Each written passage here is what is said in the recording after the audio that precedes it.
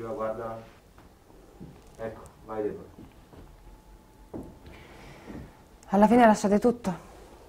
Me ne andate? Sì, abbiamo venduto. Possiamo partire.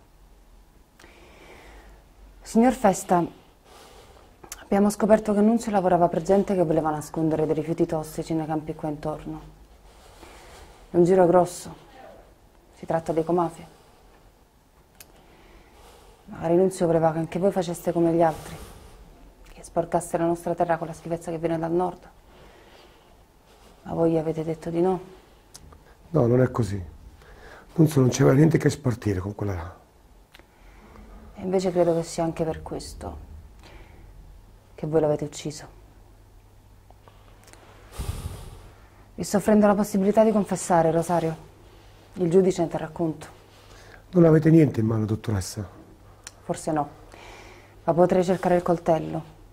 E se non ve ne siete ancora disfatto, la scientifica ci troverà il sangue di vostro figlio. Rosario, sapete benissimo che Nunzio si era accordato con i mafiosi per sottrarre quella roba nei vostri campi. No. Nunzio era tutt'altra cosa da me. Era ossessionato dalla povertà. Diceva che aveva smesso di studiare perché io non me lo potevo permettere. Ma non era così. Avrei fatto i debiti per farlo studiare. Perché quella sera avete aspettato che tornasse dalla discoteca? La mattina mi ha detto che voleva sottrarre dei rifiuti tossici nei miei campi.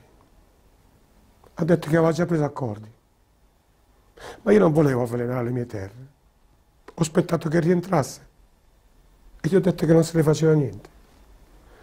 Tu sei vecchio, vecchio e superato, ha iniziato a dirmi.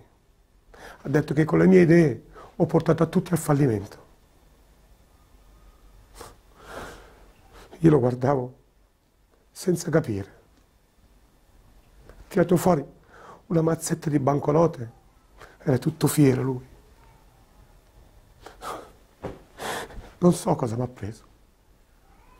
La mano è scivolata in tasca dove porto sempre un coltello. È l'ultima cosa che ricordo.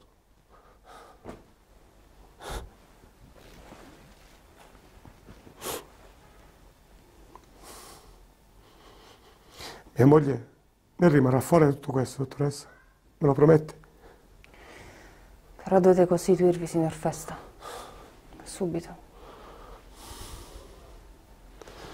Non c'è bisogno.